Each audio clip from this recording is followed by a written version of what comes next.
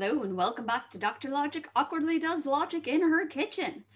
This time we're going to talk about translating from English into a predicate language. So there's two points that we need to kind of touch on. The first is how do we construct the language that we are going to be translating into? Because a lot of times you're not going to be given one and said, okay, here's some English translated into logic, but rather you're going to have to construct the language and then do the translating. So our languages consist of constants, functions, uh, predicates, and relations. Everything else is fixed. So like variables, quantifiers, we don't need to define those because they are the same across any predicate language. The first thing to do then when looking at a piece of English text is to go through and ask yourself, what are all of these non-logical parts? So what are the constants? What are the functions? Often there are not very many functions. What are the one place predicates? What are the binary relations? What are the ternary relations? Now, sometimes this is easy. For instance, if you see a proper name, then that is going to play the same role that's going to be represented by a constant. If you don't see any proper names and you don't see any descriptions, then there's a good chance that you might not have any constants or functions in your language. You might just be talking generally about things.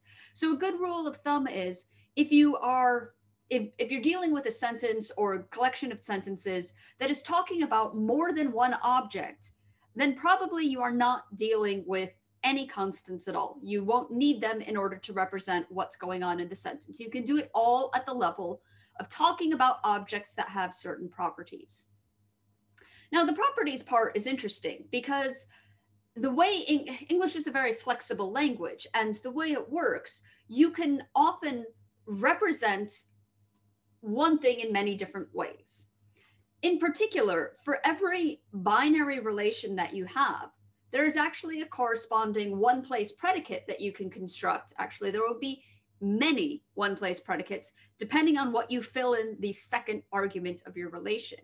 So just as an example, you might think of the binary relation X is a parent of Y, but you could also kind of fix Y, you know, figure out a value for that. Say you've got some constants in your language, and then you want to say that X is the parent of Fred or the parent of Aziza or things like that. So anytime that you have a binary relation, you could also have had just a unary predicate. Which one you want to use is not something that logic can tell you. So constructing your language is actually incredibly open and incredibly flexible and you need to you need to use your judgment when you're doing it. You can't just follow a rule. Generally things to look at are what are the things that turn up in multiple different sentences in the piece of text that you're looking at. For instance, if you are doing something where multiple different parents and children are mentioned, then you might want to have in your logical language the parent of and child of relations rather than turning them into unary predicates because maybe it's the relation between the objects that matters rather than the fact that some particular object has the property of being the parent of whatever child you're interested in. So, one of the things that falls out of this is that translating individual sentences into a predicate language can often be harder than translating a collection of sentences because the more information that you have and the more context that you have, the more guidance you will have in figuring out what the right level of description is. But this is essentially an interpretative question.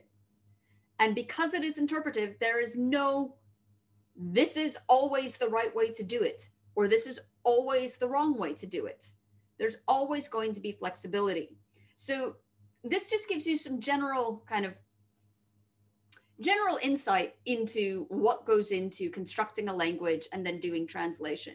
We actually haven't even said anything about how to represent the logical structure. That's the second component of doing translation. But we'll go through a number of examples in videos to come. And I hope that kind of seeing the process of choosing what to you know, what to put into your logical language and how this affects the ultimate translation. Hopefully, by seeing the process happen, you'll get a better sense of things to be thinking about when you're doing it yourself. So, join me next time. We'll start going through some of these examples. I've got a couple of different ones that we will look at, some that will even allow you to have kind of your own go at defining sentences of things that you might want to be able to say about a certain collection of objects. So, take care. See you then. Cheers.